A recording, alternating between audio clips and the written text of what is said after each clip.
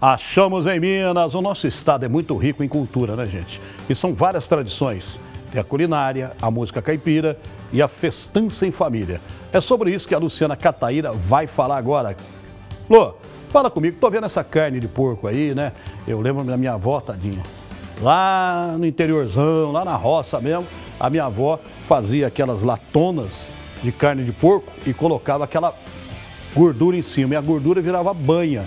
E eu lembro que ela pegava com uma caneca assim, dentro da lata, a banha e a carne de porco para jogar na frigideira para fazer para gente, quando a gente era moleque. É a verdadeira carne de lata, né? Tá aí, minha vozinha lá no meio da roça, que a gente ia para lá. Então vamos, balança aí.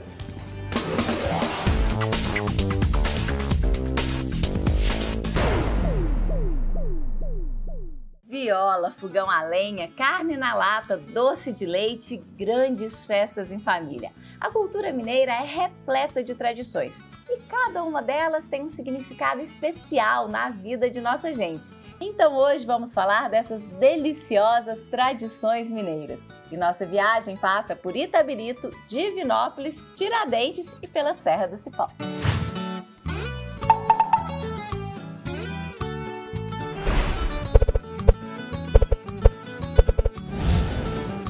Agora vamos juntar esse monte de coisa boa: carne na lata, doce de leite, festa em família.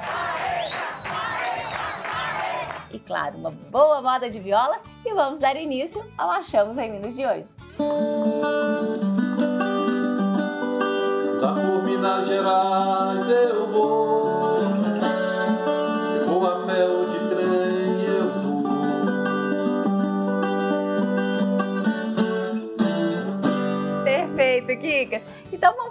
desse estado que encanta tanta gente, né? E pelo que eu sei, você é encantado também. Falar de Minas Gerais, a terra que eu amo, começando com uma viola, é a melhor coisa do mundo. Então agora vamos falar sobre essa tradição da viola, que é uma coisa que representa muito o nosso estado, né? Ah, com certeza. Certeza. É, eu conheço quase o estado de Minas Gerais todo lugares maravilhosos através da viola. Esse dom de tocar eu herdei do meu pai, que era o melhor sanfoneiro da região de Valadares. A viola hoje em Minas, ela é muito rica, até inclusive é conhecida né, como patrimônio imaterial do estado de Minas Gerais. É uma honra para a gente.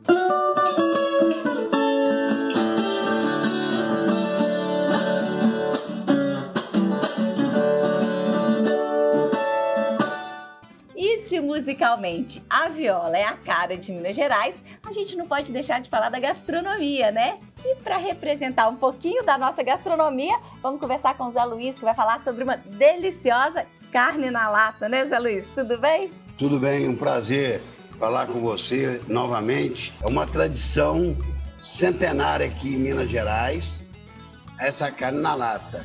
A carne na lata era, é um costume da, das fazendas, matava o porco, fritava a carne e embebia-se na gordura. Antigamente não, não tinha geladeira. Então essa carne não vai para a geladeira.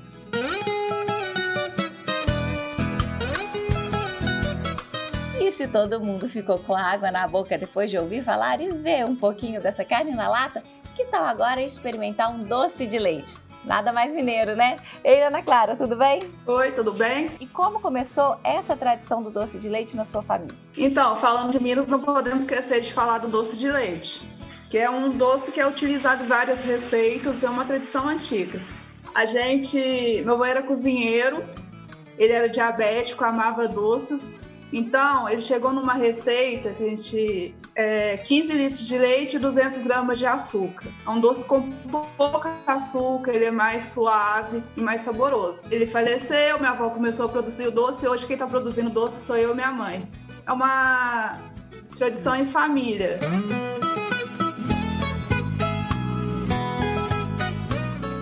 Depois desse doce, tá na hora da festança, né? Vamos falar dessas nossas festas mineiros com o Edivando Baeta. Ei, Edivando! Ei, Lu, que prazer revê-la. Bacana. Pois é, nada mais a cara de Minas do que reunir uma família grande e fazer uma festança, né? Como começou a festa dos Baeta? A festa em si, ela começou depois da gente se reunir, nos reunirmos em velórios e tudo mais, o pessoal falava, a gente só encontra aqui, que coisa chata e tal.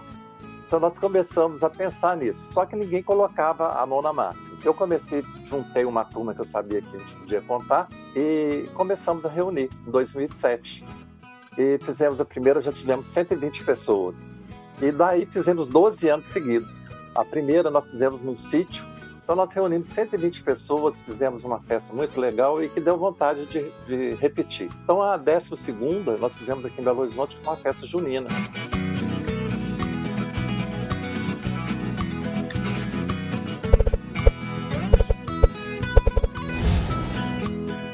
E vocês quatro são pessoas que, de certa forma, mantêm essas tradições que são tão importantes para o nosso estado, né? Dá orgulho de ser mineiro, não dá? É muito bom fazer parte dessa tradição, é, levar o nome de Minas Gerais. Eu fico muito feliz. É, levar o nome de Minas Gerais e o nome da minha cidade, que eu não posso deixar de falar, porque eu sou muito barrista. Eu, nós somos de Divinópolis, então já estou passando para os meus filhos, para que eles não deixem essa tradição acabar. Já há 45 anos, aproximadamente, eu venho defendendo essa, essa cultura. Chora a viola por este sertão mineiro, de pão de queijo caseiro, melodias folheadas. E o que é que esse estado, o que é que Minas Gerais, que é tão cercado de mistérios, histórias, tradições, significa para cada um de vocês? É tudo é tudo. Eu acho que Minas Gerais é calor humano, é abraçar as pessoas, é aquela tradição que você chega na casa de alguém, você é bem recebido, você as pessoas fazem questão da amizade, aquela amizade sincera. Eu acho que Minas Gerais essa essa prosa que é importante. Nossa, é prosa, viola e gastronomia como já dizia o poeta, Minas são muitas, né? Em cada local que você vai é uma, um apego, uma, uma, uma, uma quentura, como diria o mineiro, de um modo geral. Então, assim, a gente andando pelo, por Minas Gerais toda, a gente vê quanto que o mineiro é, é agarrado nessa parte de, é, de saber lidar com, com o outro, né? Para mim, Minas Gerais significa amor e felicidade, que é um povo que sabe receber as pessoas, que abraça bem as pessoas, que gosta de um papo. Conhece não esquece jamais.